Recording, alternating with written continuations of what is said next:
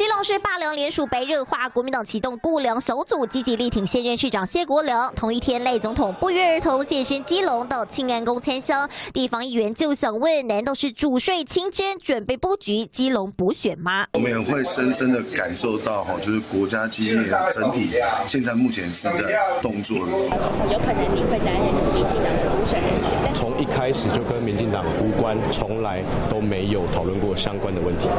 就是庆安公主委，基隆议长童子伟被外界点名准备卡位基隆补选，在野党更质疑民进党炒热罢免，想转移郑文灿涉谈弊案的焦点。他现在利用媒体来转移焦点，针对谢国良。这次的选罢法修法对国良的罢免案没有任何的加分，反而是说这是民进党违背了他们当初要改善制度的初衷。对谢国良罢免最用力的是谁？不就是李耀昌吗？怎么可以，因为啊我选输你了，可是我要很怕把我们以前弊案全部挖掘。先有民进党秘书长林佑昌动用党资源帮忙联署，后有中选会把基隆选委会联署查对时间从四十天压缩到三十天。朱委李进勇更直接现身基隆选委会。林一猛虽然罢凉国家队成型，两位绿营前市长不演了。这回选罢法修法根本无法溯及既往用在罢凉案身上，在野党认真推案，避免幽灵联署，绿营却为政治斗争，国会里推案又撤案，把修法当儿戏，地方上则操作罢免作战。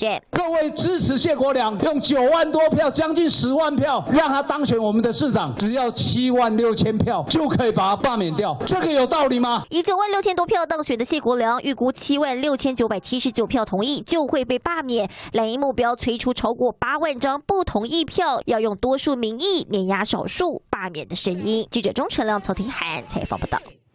我是王一中，新闻的产业带给我满满的使命感。不论是贴近民生的议题，或是国际的话题，我都能够精确、真实传达最完整的资讯给各位观众。当然，更多的新闻请锁定中视 YouTube 频道，记得按赞、订阅、分享，并开启小铃铛哦。